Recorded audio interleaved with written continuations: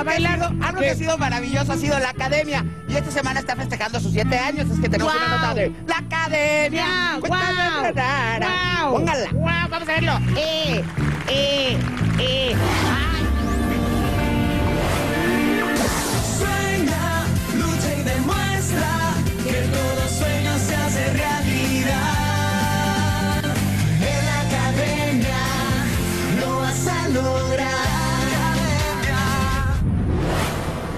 Academia cumple siete años de haberse lanzado por TV Azteca. Fue el primer reality en su género y se convirtió en todo un fenómeno. Combinación de la frescura y la originalidad de los participantes y del programa en general. Cuenta con 109 egresados de sus aulas. Dentro de seis generaciones, la Academia Primera Generación se lanzó el 30 de junio y terminó el 1 de diciembre.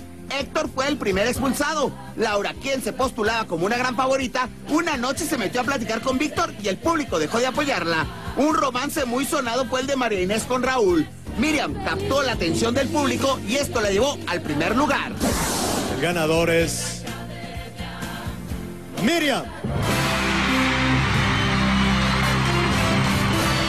Déjenme decirles que este momento es el momento más, más más, más bonito y más importante de mi vida. Muy contentos festejando este séptimo aniversario, en donde la historia empezó y cambió para todos. Fue como el eslabón más importante de nuestra carrera.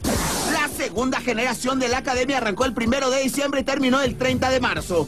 En esta generación expulsaron a Andrea por mala conducta, así como metieron a Fabricio, un joven que se entregó en cuerpo y alma. La ganadora absoluta, Erika. ¡Erika!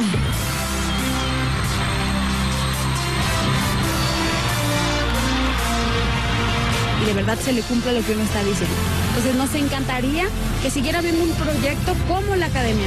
Y llegó la Academia Tercera Generación. Empezó el 29 de febrero y terminó el 4 de julio del 2004. Algunos de ellos siguen la carrera, como Hiromi, Dulce, Leticia, César o Carlos, el ganador de esta generación que está por estrenar el musical Mamma Mía. Eso es lo que siempre me ha gustado hacer y sobre todo una obra como esa es una gran oportunidad y, para crecer y para, para seguir consolidando este, pues, mi nombre dentro del teatro. El 6 de febrero nació la Academia Cuarta Generación, en donde la polémica estuvo presente con Yolette, uno de los personajes más controversiales que ha dado la televisión mexicana. En esta academia los críticos jugaron un papel tan importante que sus pleitos eran de primera plana. Pido por favor que dejen de votar por ella porque está ocupando un lugar que no merece. Aquí Erasmo logró el primer lugar, Yuridia el segundo y Adrián Varela el tercero. Estoy aventando incluso a componer.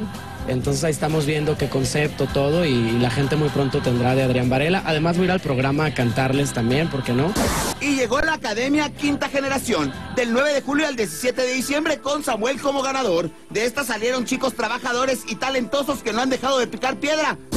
Una más y llega la sexta generación. Esta la ganó María Fernanda. De ahí sale un fenómeno llamado Luis Armando o Paolo Botti. De esta academia se formaron dos grupos, G6 y Los Papis. Y bueno, ahora me voy a Argentina unos días, así que se van a olvidar de Matías. eh. Le voy a traer alfajores a todo y empanadas. Y bueno, próximo y más. A ver, ya me extrañó muchísimo. Mimi se va el viernes a Argentina. Matías se va a Argentina. ¿Por? Bueno, la realidad de todo esto es que la voy a esperar allá. Seis generaciones de talentos, 109 sueños cumplidos y un millón de gracias a la academia que nos ha hecho vibrar y sentir.